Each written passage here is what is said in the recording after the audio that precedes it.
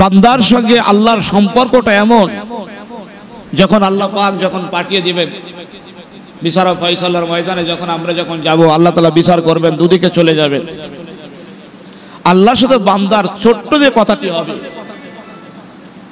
আল্লাহ আমার জীবন জেন্দেগির সব গুণা আর নেকের সমান হয়ে গেছে। তোমার কাছে আমার কতটুকুন পাওনা আছে? কি মহব্বত হলেই না এইভাবে কথা বলা যায়, কি ভালোবাসা থাকলেই এইভাবে কথা বলা যায়। অল্প একটু পাওনা আছে, অল্প। অল্প একটু পাওনা আছে। আশি বছর বয়স।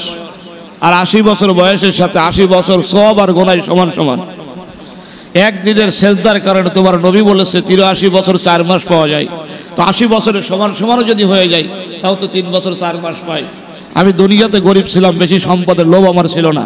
আমি অল্পতেই সন্তুষ্ট ছিলাম। আজকের আমলের দিকে আমি অল্পতে সন্তুষ্ট, তুমি আমার সেইটুকু দাও। আল্লাহর কুদরতি হাসি হাসবেন বান্দারে কথোপকথন বলে শুনে সুবাহান আল্লাহ আল্লাহর সাথে আপনার আমার কত মহব্বত, কত ভালোবাসা। কোন নবীর উম্মতকে আল্লাহ তাআলা এই সুযোগ দেননি। তিনশো তেরো জন রসুল, তিনশো তেরো জন রসুলকে আল্লাহ তাআলা দুনিয়াতে পাঠিয়েছেন, ওই রসুলদের উম্মতকে আল্লাহ সুযোগ দেননি। ওই সুযোগ আল্লাহ দেননি। কিতাবওয়ালা, বড় কিতাবওয়ালা নবী চারজন। চারজনের তিনজন কিতাবওয়ালা নবীর উম্মত, তারাও পায়নি এই সুযোগ। সর্বশেষ কিতাবওয়ালা নবী মোহাম্মদ রসুল্লাহ সাল্লাহ আলিয়াল্লামের উম্মত আমরা আমরা পেয়েছি এই সুযোগ। আমরা পেয়েছি এই সুযোগ। অথচ আমরা যে কি পেয়েছি সেটা আমরা বুঝতে চাই না। সেটা আমাদের হৃদয় দিয়ে আমরা অনুভব করতে চাই না, উপলব্ধি করতে চাই না। চাইব না চাইব না, কারণ আল্লাহর সঙ্গে নবীজির এই কথাও হয়েছে। আর দুনিয়া হলো দুনিয়া হলো লোভের জায়গা। দুনিয়া কি? লোভের জায়গা। লোভ মানুষকে ভুলাই দেয় সব। লোভ মানুষকে সব ভুলাই দেয়।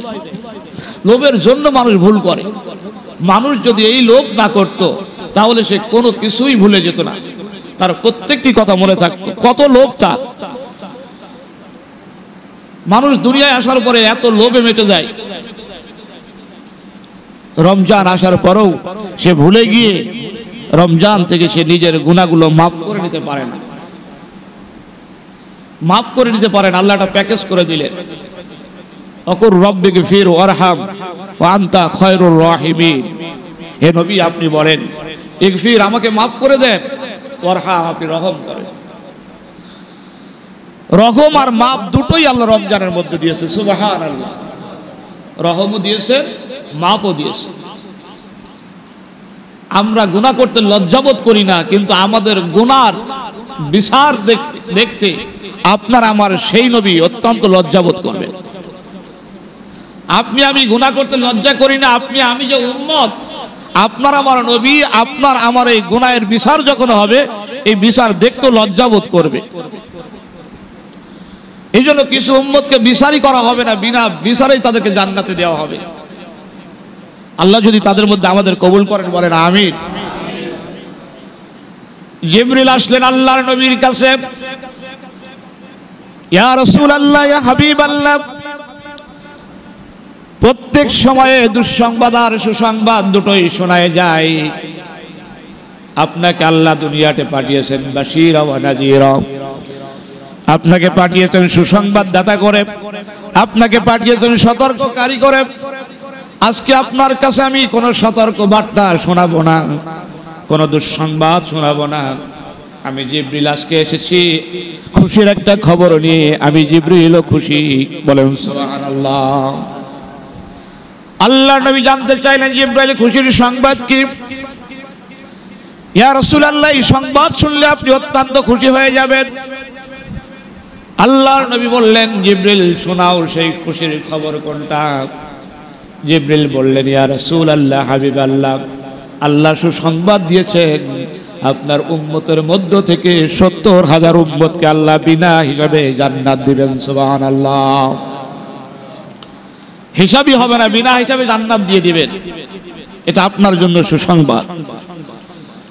নবীজির চেহারা যখন মলিন হয়ে যেত, পুরা চেহারাটা লাল হয়ে যেত, আল্লাহর নবীর চেহারা কিছুক্ষণের জন্য যেই সুন্দর চেহারা ছিল, পুরা শরীরটা লাল হয়ে গেছে। জিব্রিল বুঝতে পেরেছে, আল্লাহর নবী খুশি হলেন না। আমি সুসংবাদ দিলাম, খুশির খবর দিলাম, আল্লাহর নবী খুশি হলেন না। আল্লাহর নবী খুশি হলেন না। জিব্রিল বললেন, ইয়া রাসূলুল্লাহ, আপনি কি খুশি হলেন না? আপনার উম্মত সত্তর হাজার হিসাব ছাড়াই চলে যাবে জান্নাতে, তাদের হিসাব হবে না। আল্লাহ বলবেন, উদখুলু আজওয়াজুকুম তুহবারুন, তুমি একা যাবে না, তোমার স্ত্রীদেরকে সঙ্গে নিয়ে জান্নাতে যাও। এত সুন্দর সুসংবাদের পরও আপনি খুশি হলেন না। জিব্রিল কাছে আল্লাহর নবীর কথোপকথন হচ্ছে। আল্লাহর নবী বলে, জিব্রিল, খুশির সংবাদ কি হলে? এটা তোমার কাছে খুশি হতে পারে। আখেরি জামানার নবী রাহমাতুল্লাহ আলমিনের কাছে এটা খুশি না। সত্তর হাজার যদি উম্মত যদি বিনা হিসেবে জান্নাতে যাই পাশেই বসা রয়েছে ওমর রাজি আল্লাহ হাজতে ওমর বলেন, ইয়া রাসূলুল্লাহ, কিছুক্ষণ আগে আপনার হর্ষ উৎফুল্ল চেহারার মধ্যে এখন মলিনতা দেখা যায়।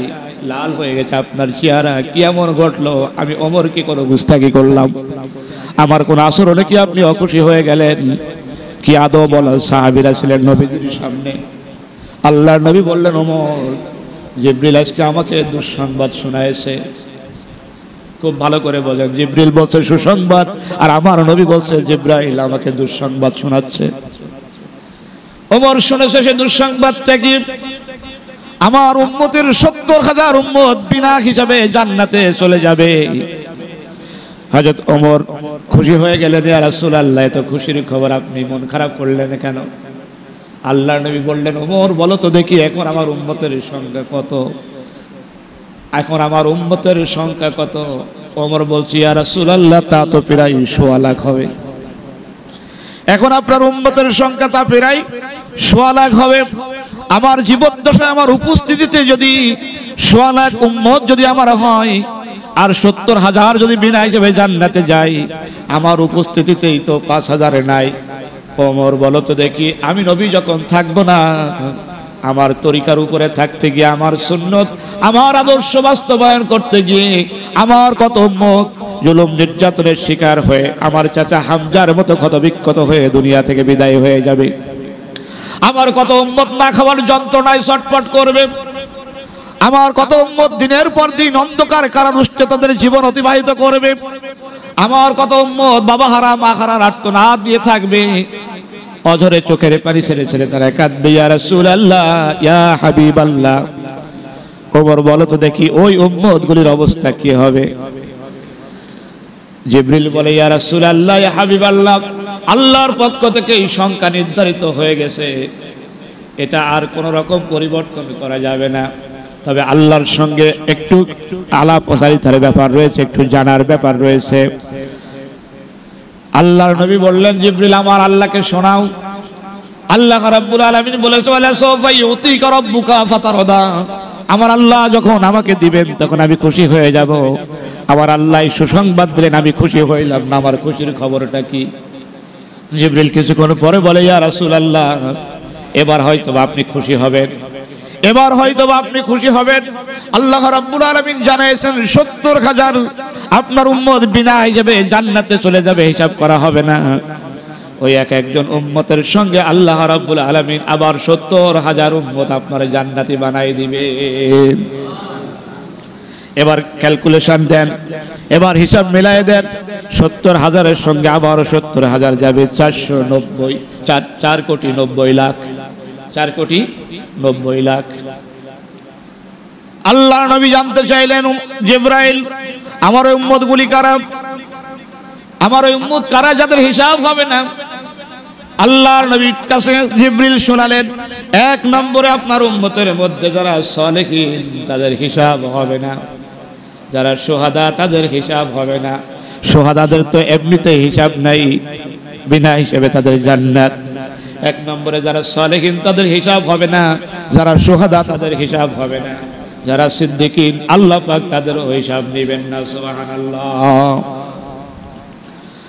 সালেকিনদের হিসাব হবে না, সিদ্দিকিনদের হিসাব হবে না, সোহাদাদের হিসাব হবে না।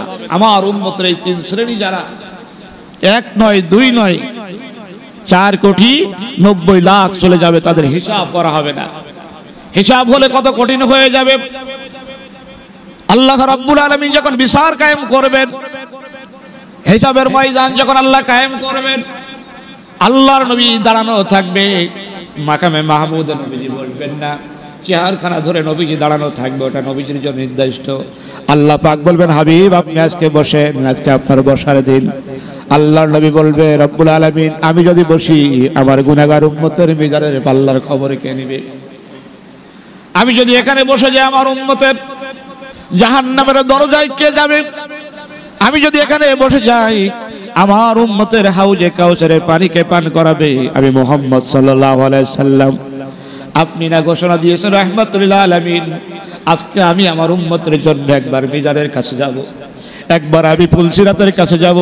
একবার আমি জাহান নামের দরজায় যাব। আমার একজন উম্মতকে আমি আজকে জাহান নামে যেতে দেব না আমি রহমতুল্লাহ আলামিন। আল্লাহ রাব্বুল আলামিন তার বন্ধুর সঙ্গে কত সুন্দর কথা হবে সেদিন।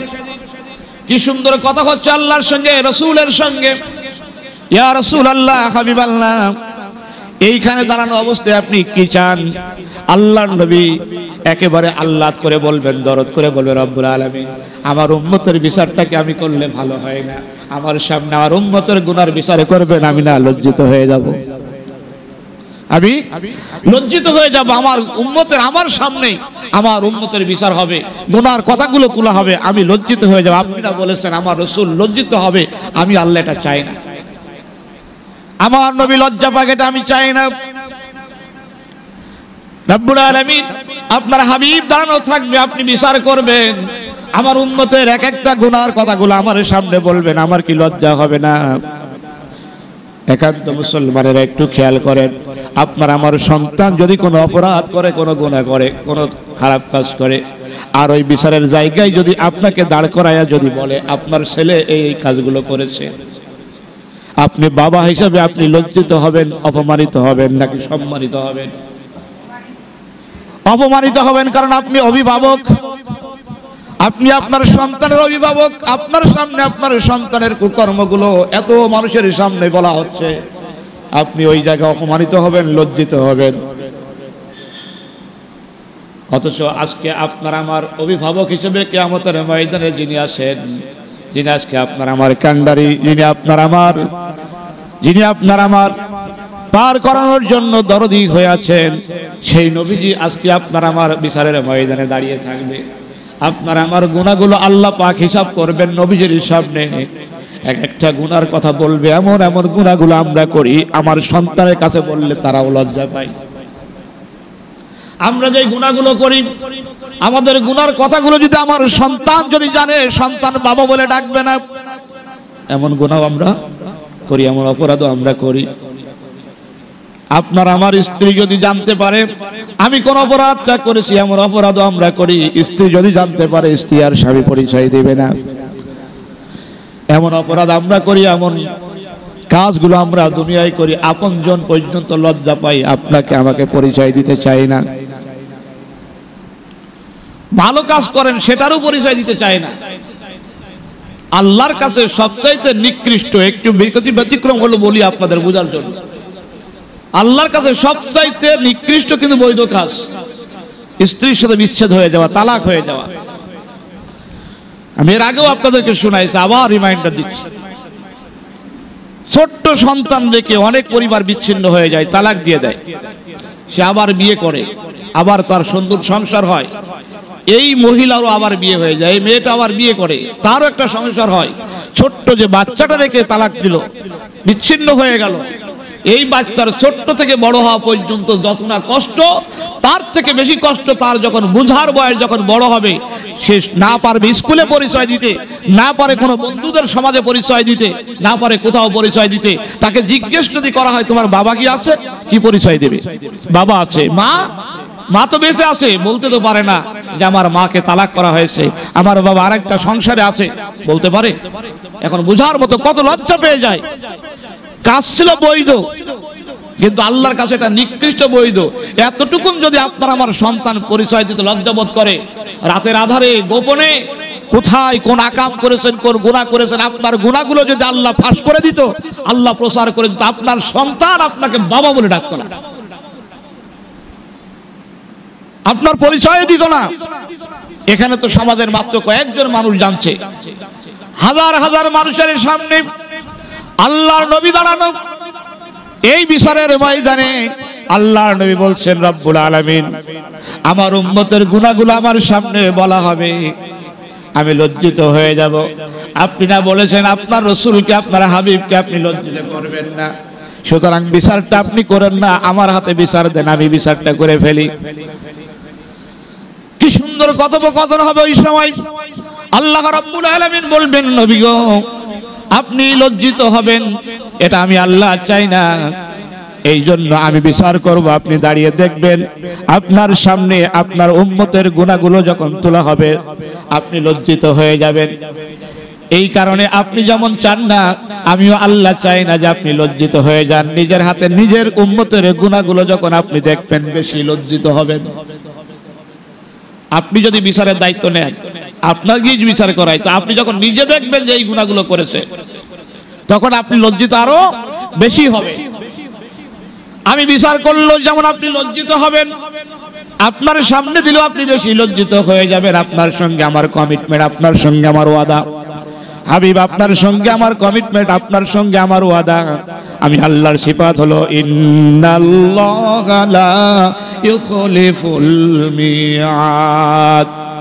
আমি আল্লাহ এমন এক আল্লাহ কমিটমেন্ট জাদি ওয়াদা জাদি আমার ওয়াদা। সামান্যতম এদিক ওদিক হয় না, রব্বুল আলামিন বলছি আমি। আমি আল্লাহ বলছি, আমার ওয়াদা যখন ভঙ্গ করি না, একটু এদিক ওদিক হয় না। আমি কথা দিয়েছি আমার রসুলের সঙ্গে, আমার রসুল আমার উপস্থিতিতে।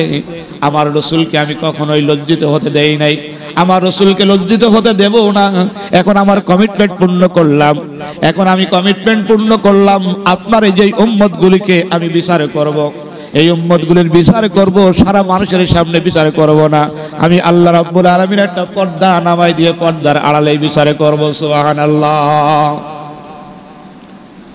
وقال الرسول يا رب وقال الرسول يا ربي ইন্না কওম ইত্তাখাযু হাযাল কোরআন মাহজুরা। আল্লাহর নবী বলবেন, রব্বুল আলামিন, যে উম্মতের জন্য আমি এত বিষয়, এত সুপারিশ করলাম, ওই উম্মতের বিষয়ে আমার আরেকটি বক্তব্য আছে। নবী, আপনি বলেন, আল্লাহর নবী বলবেন, হে আমার রব, যত মানুষগুলো দেখছেন উম্মত বলে দাবি করছে, আমার সময় এরা ঠিকই আমার উম্মত দাবি করছে, আমার সময়ের জাতি এরা দাবি করছে। কি সুন্দর করে নবীজি বলবেন, অকল রসুল ইয়া রব্বি, ইন্না কৌমিত্যা খাজু এখন উম্মত বলবেন না, এখন বসে ইন্না কৌমিত্যা খাজু হাজাল কোরআনা মাহাজুরা। আমার আখরি জামানায় আমার সময়ের জাতি এরা কিন্তু আমি রব্বুল আলামিন আপনার সামনে বলছি, এরা আমার উম্মত না, কারণ কোরআনটাকে ওরা পরিত্যক্ত রেখেছে। নবীজি নিজেই ভাগ করে দিবেন। অকল রসুল ইয়া রব্বি, সেই দিন আল্লাহ নবী নিজেই বলবেন যে উম্মতের জন্য নবী এত দরদি হলেন। আর সেই নবীকে আবার উল্টো মামলাও দিবে যে আমার সময়ের, আমার আখেরি জামানার উম্মতিরা দাবি করছে। আর আমি রসুল বলছি, ইন্না কমি এটা আমার সময়ের জাতি। কিন্তু মাহাজুরা। কিন্তু আমি নবীর উম্মতেরা না, আমার জাতিরা পরিচয় দিচ্ছে, কিন্তু এরা আমার উম্মত না, কারণ এরা কোরআনটাকে পরিত্যাগ করে গেছে। খুব ভালো করে বুঝবেন, আমার রসুল সেদিন বলবেন, নবী বলছে, আমি যদি তোমাদের বিরোধী যদি সাক্ষ্য হই। আমি যদি তোমাদের বিরোধী মামলা দিয়ে দিই, কে সুপারিশ করবে তোমাদের? কে সুপারিশ করবে তোমাদের? আমি রসুল যেভাবে বাসায় তোমাদেরকে পর্দার আলে নিব, মানুষ দেখবে না। আমি রসুলই তোমাদের বিরুদ্ধে মামলা দেব। তুমি কোরআনটাকে পরিত্যাগ করে গেছো। কোরআনটাকে পরিত্যক্ত রেখেছো কোরআনের সেই মাসই হলো এই রমজান মাস। আল্লাহ নিজে মাসের পরিচয় দিয়েছেন, শাহরু রমাদান আল্লাদি উনজিলা ফিহিল কোরআন। এটা আল্লাহ নিজে পরিচয় করে দিয়েছে। এই মাসটা কি তোমরা জানো? এই মাসের নাম কি? রমজান মাস। এই মাসটা কেন? কি কারণে এই মাসকে এত সম্মান করা হলো? আল্লাহ নিজে বলছে, উনজিলা ফিহিল কোরআন। আমি আল্লাহ এই মাসেই কোরআন নাজিল করেছি, তাই এর সম্মান। সুবহান আল্লাহ বলেন এত বড় ভয়ঙ্কর কথা আল্লাহ বললেন। আপনার আমার বিশ্বাস হয় না। আপনার আমার বিশ্বাস হয় না। আল্লাহ জিজ্ঞেস করবেন আল্লাহ রুবুবিয়াতের কসম দিয়ে আল্লাহ বলছে, রবের কসম। আল্লাহ নিজে বলছে, রবের কথা আমি প্রত্যেককে জিজ্ঞেস করব, আমার কোরআন একদিন কি পড়েছো? আমার কোরআন কি একদিনও পড়েছ? আপনি তো বলবেন যে আমি কোরআন পড়ি নাই। আপনি কোরআন পড়েন না, এটা তো আফসোসের ব্যাপার না। আপনি যে কোরআন আপনার কাছে ছিল, একদিন কি মহব্বত করে আপনি কোরআনটা বুকে লাগাইছিলেন? আপনি কোরআনটাকে বুকে নিয়ে কোনো আফসোস করেছেন, আল্লাহ আমি করতে পারি না? আপনি কোনোদিন মসজিদে নামাজ এসে ইমামকে বলেছেন, আমি কোরআন পড়তে পারি না, আমাকে পড়াই দেন। আমার নবী সেদিন ধরবে, তুমি আমার মেম্বারে বসে বক্তব্য দিয়েছ, আমার উন্মত তোমার কাছে কোরআন শিখতে গেছে, তুমি শেখাও নাই। আমার নবী সেদিন ইমামের বিরুদ্ধে যাবেন। আপনি কোনোদিন কি একদিন ইমামের কাছে এসেছেন যে আপনি কোরআন পড়তে পারি না? আমাকে কোরআন শেখাই দেন। আমি কথা দিচ্ছি আপনাকে, তিন দিনই কোরআন শেখাই দেবো ইনশাল্লাহ আমি রুহুল আমিন কথা দিচ্ছি, তিন দিনই কোরআন শেখাই দেবো আপনাকে ইনশাল্লাহ আসেন নাই তো, আমার বোর্ডটা এখনও টাঙানো আছে। কত ফিরি ফিরি পড়ানোর জন্য আপনাদেরকে আহ্বান করেছি। আপনাদের পায়ে হাত দিতে বলেন, পায়ে হাত দিই পড়ানোর জন্য আহ্বান করেছি। পাই নাই মানুষকে। মাত্র কয়েকজন বসেছেন, আলহামদুলিল্লাহ, অনেকে এখন কোরআন শরীফ পড়তে পারে অনেকেই পড়তে পারেন, আপনাদের কাছে তো টাকা চাই নাই।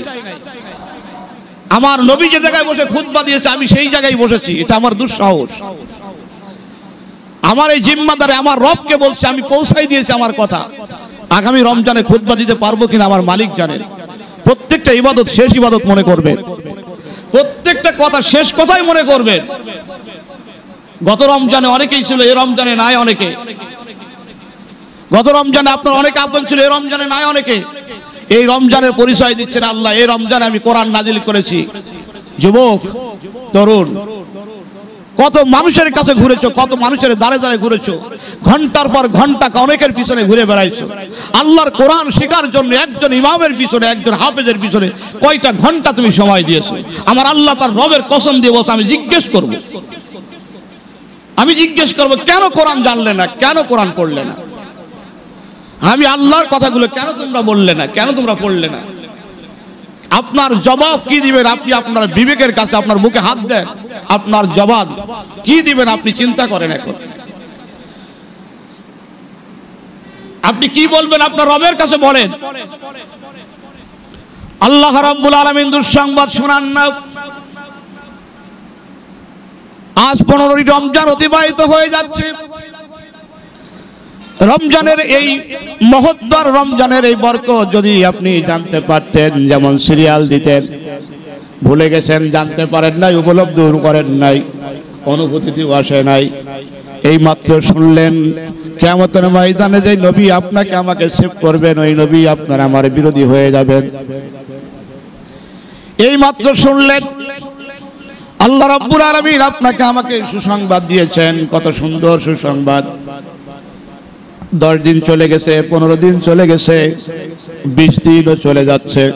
আল্লাহ রাব্বুল আলামিন তার হাবিবকে দিয়ে এমন এক ইবাদতের ব্যাপারে আল্লাহ বলেছেন।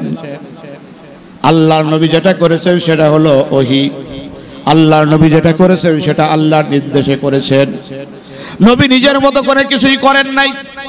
আল্লাহর নবী রমজানের শেষ দশকে জেহাদের ময়দানে পর্যন্ত যান নাই। নবীজি দুনিয়ার কোনো কর্মব্যস্ত কাজেও তিনি থাকেন নাই। মানবতার সেবাই কাজে নবীজি থাকেন নাই। দশটা দিন আল্লাহর নবী আল্লাহর ঘরের দরজায় এসেছেন।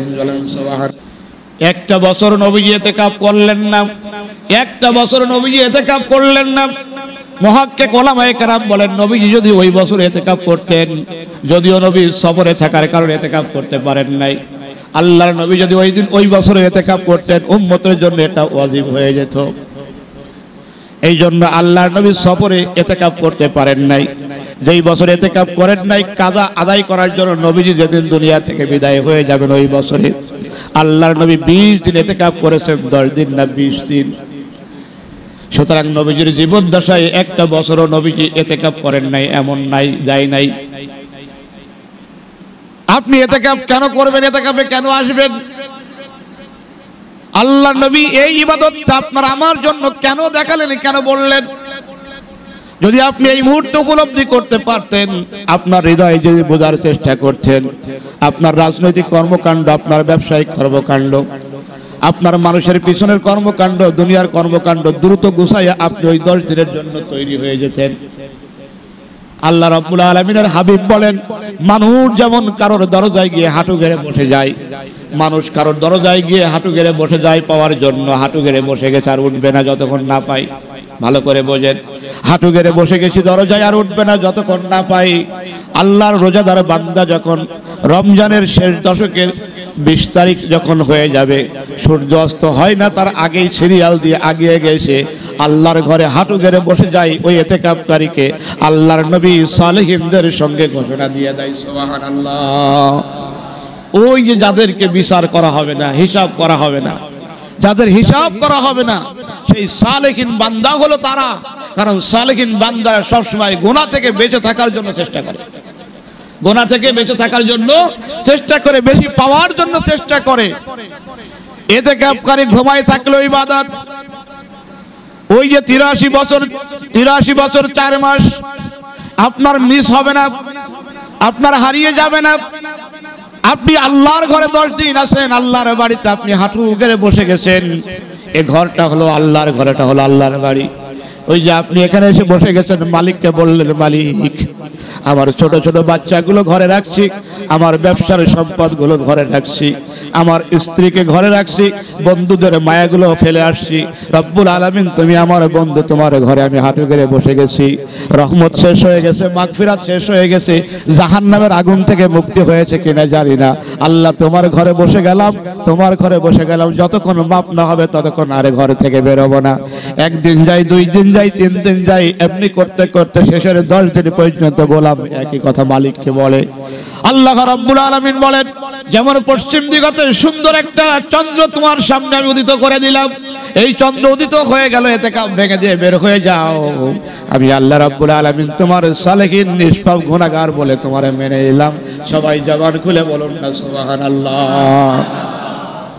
যদি জানতেন আপনার সন্তান এই দশ দিনে কত গুণা করবে, আপনি বাবা। আপনাকে বলছি, আপনি বাবা, আপনাকে বলছি, আপনি যদি জানতেন আপনার সন্তান, এই রমজান মাসের শেষ দশ দিন কত গুণা করবে? আপনি যদি জানতেন আপনার সন্তানটাকে জাহান্নাম থেকে বাঁচানোর জন্য, আপনি বাবা হাত ধরে পুটলাটা নিজের ঘাড়ে নিয়ে মসজিদে এনে যুবক ছেলেটাকে রেখে যেতেন। দশ দিন মসজিদে থাকুক। বাজারে বেরোলেই জিনা করবে, বাজারে বেরোলেই জিনা করবে। বাজারে বের হলেই জিনা করবে। ও গুতা না দিতে চাইলে ওর জন্য গুতা দেবে, কারণ শেষ দশ দিনে মার্কেটের ভিড়টা বেশি হবে। আর কেউ মার্কেটে যাবে না, সব এখন মহিলা দিয়ে মার্কেট করাবে আমার কথায় আপনারা রাগ করছেন, আমি জানি। আমার কথায় আপনাদের রাগ হচ্ছে, জানি। আমাদের কাছে বলে, হুজুর, ঈদের শার্টটা কেমন হয়েছে? হ্যাঁ আলহামদুলিল্লাহ, খুব ভালোই হয়েছে। বলে, পছন্দটা কার? তা বলবেন না। কার পছন্দ? আপনার ভাবি সাহেবের পছন্দ। আমি মাঝে মাঝে চিন্তা করি যে, জামার সেই গেঞ্জি ঝুলব। কারে মার্কেটে পাঠাইছে? আপনারা দেখে সাইড দেবেন, আপনার সাইড লীল লজ্জা পাওয়ার জন্য আপনাকে দূরে থাকতে হবে। আমার কথা আপনারা বেজার হন, রাগ হন, অসুবিধা নাই। আমি তো আমার মালিককে বলছি, আমার কথা পৌঁছাই দিচ্ছি। মার্কেটে তো আপনার স্ত্রী যায়, মার্কেটে তো আপনার বোনটাই যায়, মার্কেটে তো আপনার মেয়েটাই যায়। এই দশ দিন আপনার সন্তান আতশবাজি করবে আতশবাজি করবে। আপনার সন্তান আর একজন বন্ধুর সঙ্গে সে পরিকল্পনা করবে, ঈদের দিনটা কি করে জমাবে ই ড্রিঙ্ক অ্যান্ড ডিমেরি আপনার সন্তান কত গুণার সঙ্গে লিপ্ত হবে, আপনি যদি জানতেন, আপনি বাবা, আপনি যদি প্রকৃত সন্তানের দরদি বাবা হতেন, আপনার সন্তানটা এসএসসি পরীক্ষা দেবে ইন্টারমিডিয়েট পরীক্ষা দেবে অ্যাডমিশন দিবে, সন্তানকে নিয়ে এসে মসজিদে রেখে যেতেন সন্তানের গাঠটিটা আপনি নিজে ঘাড়ে করে আনতেন, বাবা, দশ দিন মসজিদে থাকো। চোখের হেফাজত হবে স্বাস্থ্য ভালো থাকবে, রৌদ্রের তাপ থেকে বেঁচে যাবে জাহান নামের আগুন থেকে বেঁচে যাবে, এই ভয়াবহ গুনার পরিকল্পনা থেকে বেঁচে যাবে। মালিকের দরজায় এসে হাঁটু গেড়ে দিয়ে সিরিয়াল দিয়ে বসে পড়ো। মালিককে বলো, আমি অ্যাডমিশন দিচ্ছি, আমাকে বিশ্ববিদ্যালয়ে ভর্তি হতেই হবে। মালিককে বলো, আমি এসএসসি পরীক্ষা দেবো, আমাকে পাশ করতেই হবে। মালিককে বলো, আমার অভাব আছে, আমার অভাব পূরণ করতেই হবে। মালিককে বলো, জীবনটা শেষ করেছে, গুনাহ করতে করতে গুনাহ মাফ করতেই হবে। চেয়ে নাও। চেয়ে নাও। আল্লাহ রাব্বুল আলামিন কোরআনুল কারীমের সূরা বাকারা 187 নম্বর আয়াতে বলছেন ওয়ালা তুবাশিরুহুন্না ওয়া আনতুম আকিফুনা ফিল মাসাজিদ। মসজিদে যখন তোমরা ইতিকাফ করে থাকো ইতিকাফে থাকো, অবস্থান করে থাকো ইতিকাফ শব্দের অর্থই হলো অবস্থান করা। আমি আপনাদেরকে কি দিয়ে বুঝাই? আমার ওইরকম কোনো ভাষা নেই, ওইরকম কোনো অভিজ্ঞতা আমার নেই। কোন কথায় বললে আপনারা খুশি হবেন জানি না। খুশির থেকে বেজারি আপনারা বেশি হন, এটাও আমি জানি। কিন্তু আপনি বেজার হইলেও আমাকে তো কথাটা পৌঁছায় দিতেই হবে। আমাকে বলতে হবে, আমি তো আপনার জন্য বলছি না। আপনার সন্তানটাকে জাহান নামের আগুন থেকে বাঁচানোর জন্য বলছি। আপনার সন্তানের ভালোর জন্য বলছি। বলবেন যে, হুজুর, ঠিক আছে এতে কাপের জন্য আমাদের সমাজে দুইটা নেওয়াজ আছে। একটা হলো দে মালটা ডেট এক্সপায়ার হয়ে যাবে। দাদার আর চলে না বাবা আর চলে না ডেট এক্সপায়ার ওইটা নিয়ে এসে বসাই দেন। আগে তো আমরা তাই দেখতাম, এতে কাপে যেটা ডেট এক্সপায়ার সেটা বসাই দেয়। আমি আফসোস করে বলছি, যদি আমার ভাইকে আল্লাহ জান্নাত দিক, আমি বাস্তব অভিজ্ঞতাই বলছি। আমি আবার বলছি, আমার ভাইকে আল্লাহ জান্নাত দিক। আমার ভাইকে আল্লাহ জান্নাতের মেহমান করো গত রমজানে আমি আমার ভাইকে বলেছিলাম যে, আপনার তো তেমন কোনো কাজ নেই। আপনি অন্তত দশ দিন এতে কাপে থাকেন। আমার ভাই চলে গেছে।